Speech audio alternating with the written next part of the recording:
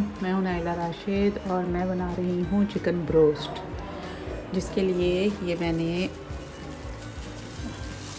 Chicken आ, के pieces है legs हैं और आ, कुछ बोनलेस पीसीस भी हैं और आ, लेग्स के ऊपर स्किन भी है और इसको मैंने फॉक से थोड़ा प्रिक किया है धोने के बाद।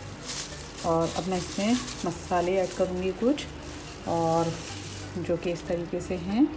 ये मैं इसके अंदर एक टेबल स्पून के करीब जिंजर गार्लिक पेस्ट डालूँगी।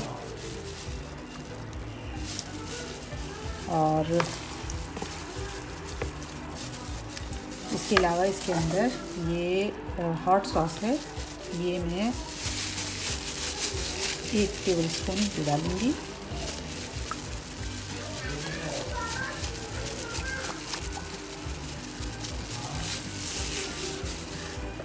इसके अलावा मेरे पास सिरका है, वो मैं इसमें एक से डेढ़ टेबल स्पून डालूँगी।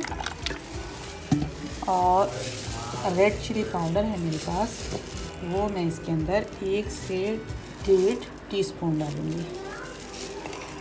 उसके अलावा इसके अंदर मैं नमक ऐड करूँगी एक टीस्पून और ये मैं क्रश ब्लैक पेपर जो है वो इसमें डालूँगी।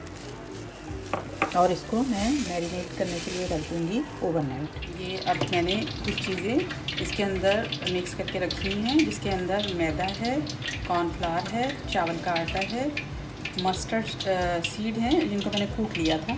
वो डाले हैं रेड चिली फ्लेक्स डाले हैं चिकन पाउडर है और ब्लैक पेपर है। और इसमें सॉल्ट है। और कोई चीज़ अगर मैं भूल रही हूँ तो रेसिपी काटनी होगी। अब मैं इसको, इसमें अच्छे तरीके से कोट करूँगी।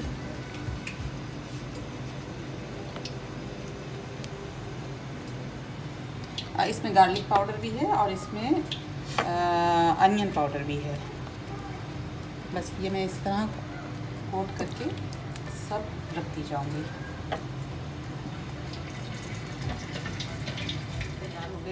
और ये यहाँ पे सारी चिकन भी जो है वो कोट हो गई है। अभी इस, इसे जो है, एक दफ़ा कोट किया है, अब इसका सेकंड पार्ट होगा। वो मैं आपको बताती हूँ क्या करना है, और उसके बाद फिर हम इसको फ्राई करेंगे। अच्छा ये अब मैंने एक उसी के अंदर जिसमें से हमने चिकन निकाली है और चिकन को तो हमने सब कुछ कोट करके रख दिया हुआ है। ड्राई इंग्रेडिएंट से। अब मैं इसके अंदर ये अंडा एक डाला है और ये थोड़ा सा मैं इसके अंदर दो टेबल स्पून के करीब मैं इसमें दूध ऐड करूँगी और ये दही ऐड करूँगी एक टेबल स्पून इसको मिक्स करूँगी और अब इस इसको मैं इसके अंदर डाल के और वापस इसमें कोट करूँगी। तो ये एक बहुत ही क्रिस्पी सा इसके ऊपर लेयर आ जाएगी। ठीक है? इसको मैं फेंक दूँगी। और इसके अंदर मैंने बेकिंग सोडा भी डाला था। वो जो ड्राई वाले जितनी भी चीज़ें मैंने यूज़ की हैं उसके अंदर। इस, इस हमेजे में मैंने बेकिंग पाउडर भी डाला था। ये अब इसके अंदर एक बार डिप करें। और फिर ये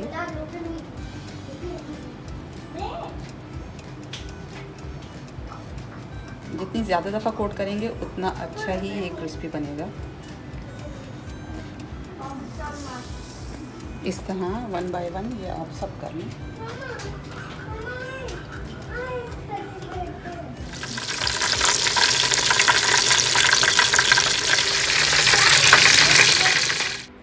ये बहुत अच्छी क्रिस्पी सी इसकी कोटिंग हुई है।